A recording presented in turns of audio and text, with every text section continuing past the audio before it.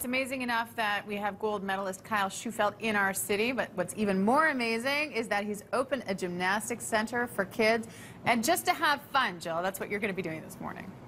Exactly right, as we always do when we get to hang out with Kyle. We like to have fun and lots of opportunity to have fun here at your brand new gymnastics center. Congratulations. Thanks, Jill. We're Yeah. t-shirt twins today. I know, we're matchy, twinsies. Uh, well, it's great to be here, and I know that this has been some time in the making. So when did you initially conceive of opening a gymnastics center? Well, this has really been in the back of my mind since my success in, in Athens at the Olympics. Um, I realized that like the true value in that accomplishment was going to be found in using it as a platform to give back. But um, you know, I've been really implementing, like grinding at this for the past year and a bit, and uh, wow, it's it's happened. It's Here it is. Yeah. Here it is. You've been open for a couple of weeks, already a huge success. How Mm-hmm. many members do you have? We're, we're close to 500 members, and we're just seeing the interest grow. And we're really happy that we've been, been able to provide a space that people love and feel comfortable in and, and are learning gymnastics. Absolutely. Mm-hmm. What kind of programs are you running here? You know, we have the whole gamut. We have all the way from babies through to kinder gym, parented classes, as well as recreational gymnastics. We also have some cross training programs, and uh, we have adult gymnastics as well. So we're really trying to offer something for everyone. Awesome. Adult gymnastics. Uh, Kyle might put me through the paces a little bit later. Now, you would have grown up in a center similar to this one. This is your environment. What surprised you? What maybe caught you off guard, or what challenges did you encounter when putting this together? Oh, wow. Well, it's one thing to be a gymnast and to show up and just get ready to do flips and swing on the bar.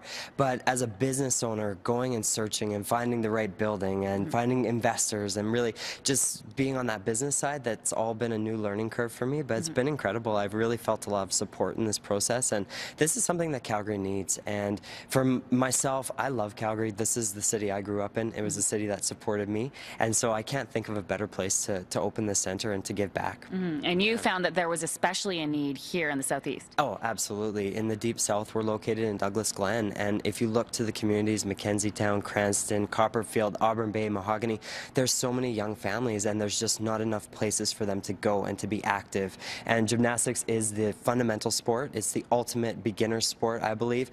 Improves strength, flexibility, coordination, agility, air awareness. I'll go on and on and Yeah. on. But this is something I feel every young person should do, and I think that we shouldn't just pinpoint it to young people. Adults should do it as well, and it mm-hmm. should be fun.